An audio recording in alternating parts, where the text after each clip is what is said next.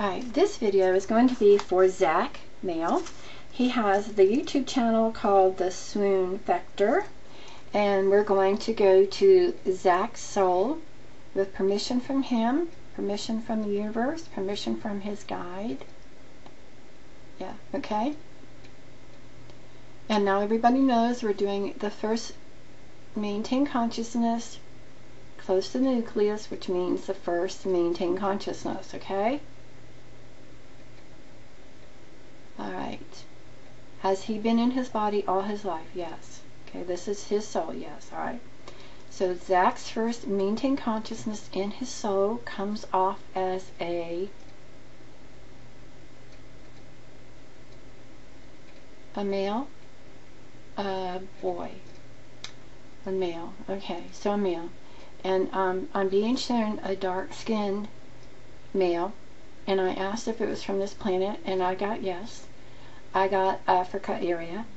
I feel it was a tribe from a very long time ago.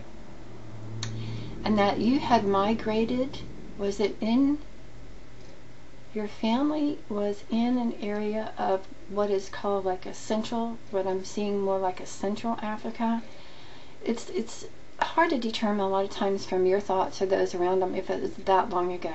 I mean, obviously they didn't have newspapers, televisions to tell them where they lived. They just lived in a land. And pretty much from what they're picking up on collective thought or collective consciousness, uh, this is an area where it looks like um, you were living in that in that time period from a long time ago. Okay, um, and it looked like it was in the area of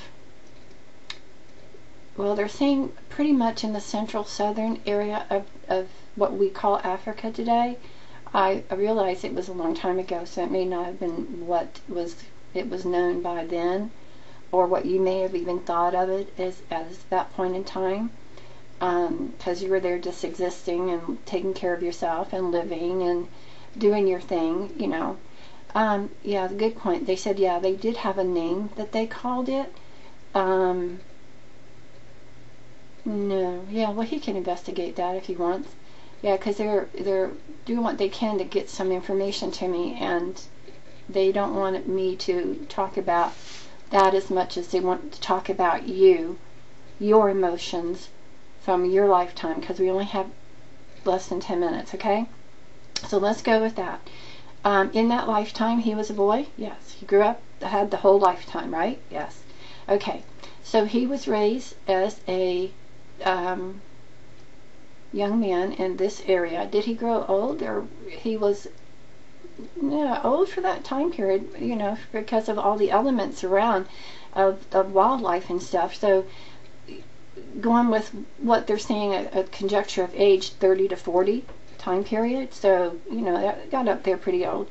You got um, married young, you had a wife, you had several wives, they're saying, and several children you didn't have any objection to taking care of more than one wife because if you could support them, which you did, you had, um, you know, the, the, means to support.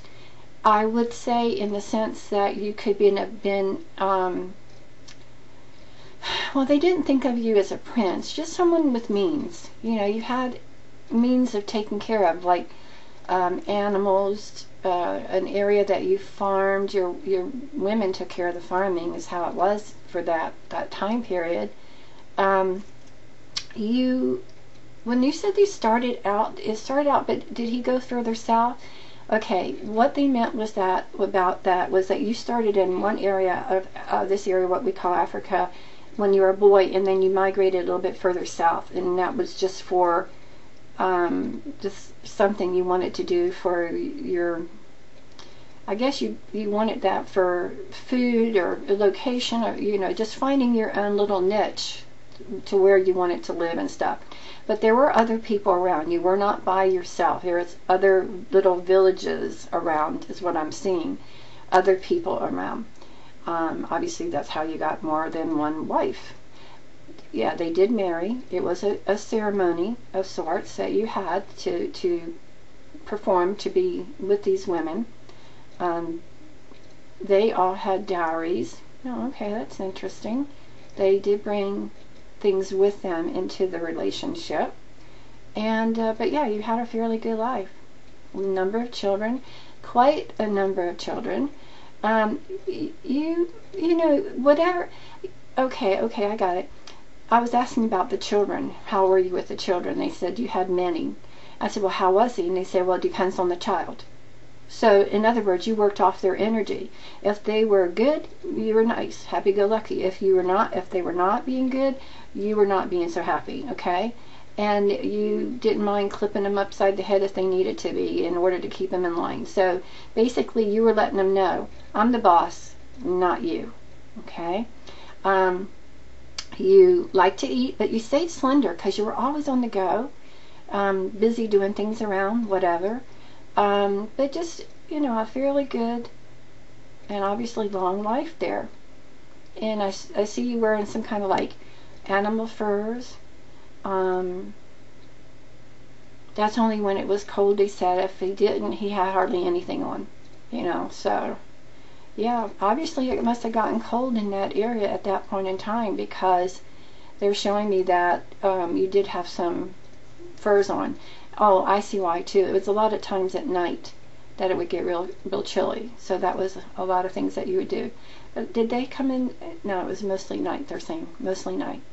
Okay, so anything else for Zach? No. Okay.